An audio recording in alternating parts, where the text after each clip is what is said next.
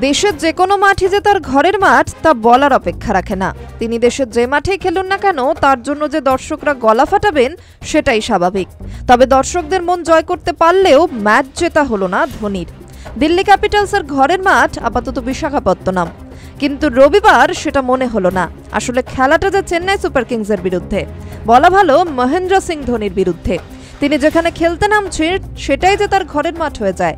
গতবার আইপিএলে খুব পরিচিত দৃশ্য ছিল ধোনির ম্যাচ মানেই চেন্নাইয়ের জার্সি ভর্তি গ্যালারিতে।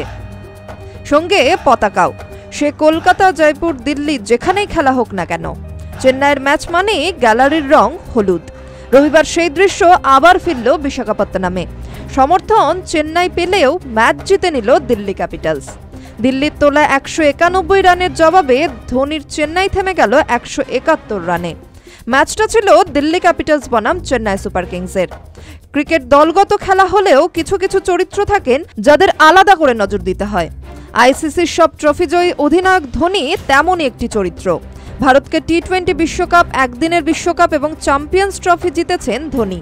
আইপিএল জিতেছেন পাঁচবার। দুহাজার উনিশ সালে ভারতের হয়ে শেষ ম্যাচ খেলা ধোনিকে এখনও দেশের সব মাঠে দর্শক বরণ করে নেয় আবেগ দিয়ে। কিন্তু আবেগ দিয়ে মন জেতা যায়, ম্যাচ নয়। বিশাখাপত্তনমে হলুদ জার্সিধারী দর্শকের সংখ্যা ছিল বেশি। সর্বক্ষণ ধোনির জন্য চিৎকার করলেন তারা। ঋষভ পান্থের দিল্লি ক্যাপিটালস প্রথমে ব্যাট করে তোলে একশো একানব্বই রান। গাড়ি দুর্ঘটনার পর মাঠে ফিরে প্রথমবার অর্ধশত রান করলেন পান্থ। দু সালের তিরিশে ডিসেম্বর গাড়ি দুর্ঘটনায় আহত হয়েছিলেন পান্থ। এবারের আইপিএলেই মাঠে ফিরলেন তিনি। দিল্লির অধিনায়ক প্রথম দুটি ম্যাচে খুব বেশি রান করতে পারেননি। ফর্ম ফিরে পেতে সময় লাগছিল তার। তবে তৃতীয় ম্যাচেই বুঝিয়ে দিলেন যে তিনি এখনও আগের মতোই সাবলীল। চেন্নাইয়ের বিরুদ্ধে বত্রিশ বলে একান্ন রান করেন পান্থ।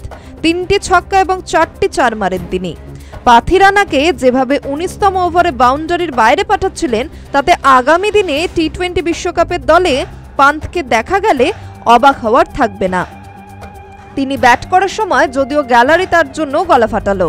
চেন্নাইয়ের হয়ে প্রথম উইকেটটি নেন মুস্তাফিজুর রহমান। শুরুতে তাকে বল করানো হয়নি। চেন্নাইয়ের হয়ে নতুন বলে শুরু করেছিলেন দীপক চাহার এবং তুষার দেশপান্ডে চাহার তার চার ওভারে বিয়াল্লিশ রান দেন। তুষার দেন চব্বিশ রান। তারা কেউই কোনো উইকেট পাননি। তবে ওয়ার্নারের আউট ক্ষেত্রে মুস্তাফিজুরের থেকেও বেশি কৃতিত্ব পাথি রানার। তিনি যেভাবে লাফিয়ে এক হাতে ক্যাচ নিলেন, তাতে অবাক হয়ে যান মহেন্দ্র সিং ধোনি। বাংলার মুকেশ কুমারের প্রশংসা করতে হবে। চোদ্দতম ওভারে প্রথম বল করতে আসেন তিনি, আর সেই ওভারে রাহানের উইকেট তুলে নেন। একই ওভারে আউট করেন সমীর রিজভিকে। পরে শিবমকেও আউট করেন মুকেশ। মাঝের ওভারে তার একের পর এক উইকেট নেওয়া এবং উনিশতম ওভারে ধোনিকে বড় শট খেলতে না দেওয়া দিল্লিকে ম্যাচ জিতিয়ে দেয়। টি টোয়েন্টি বিশ্বকাপের আগে মুকেশ ডেথ ওভারে যেভাবে বল করলেন, তাতে নির্বাচকদের খাতায় তার নাম থাকতেই পারে।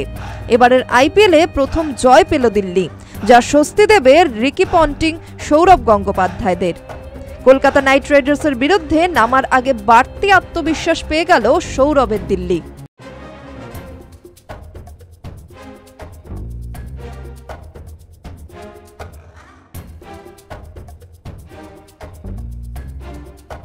স্পোর্টস ব্যুরো, নিউজ বর্তমান।